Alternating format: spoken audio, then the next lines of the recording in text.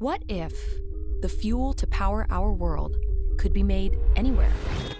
What if the fuel to power our world could be made from water and electricity? And what if that fuel created no harmful emissions? At Washington State University, we believe that fuel is hydrogen. Hydrogen has the highest energy potential of any element or fuel. It's about 2.7 times more energy per weight than conventional gasoline. Our challenge really as humanity is figuring out how to master the storage and use of that hydrogen. Hydrogen can be made from completely green renewable resources like wind, solar, and water.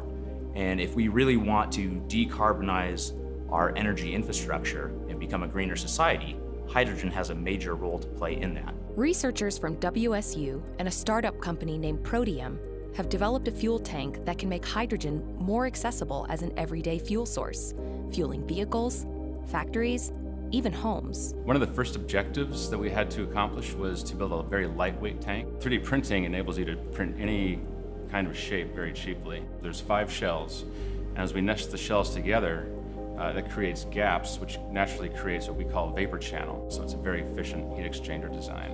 We print uh, the five sections and then we build it from the inside out. WSU is driving innovation forward, but needs help creating a market for their products.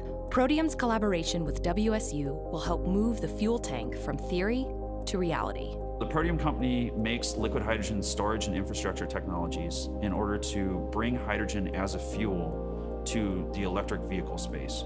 A key factor pushing the project forward is the Bayh-Dole Act, Bayh-Dole uniformly permits organizations and small business firm contractors to retain ownership of inventions made under contract with the federal government.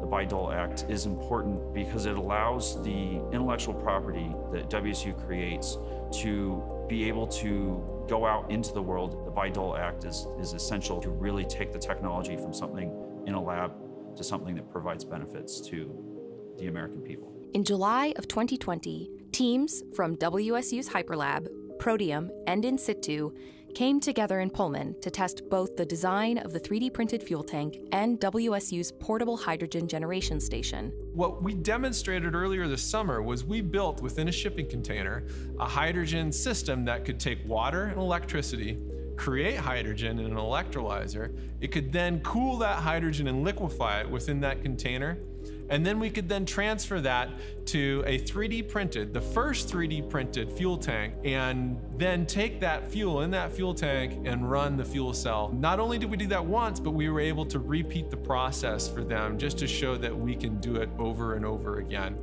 The next challenge for the team comes in the summer of 2021 a commercial drone flight powered with hydrogen created and delivered by WSU and Protium we need to prove that this technology works in the field. That means we need to be able to generate our liquid hydrogen, fill a tank, and fly a drone with our liquid hydrogen tank. Succeeding on a project of this scale, I, I don't think we could have done it anywhere besides here at uh, Washington State University. Washington's long-standing history with aerospace. This is the best place on the planet for this kind of research.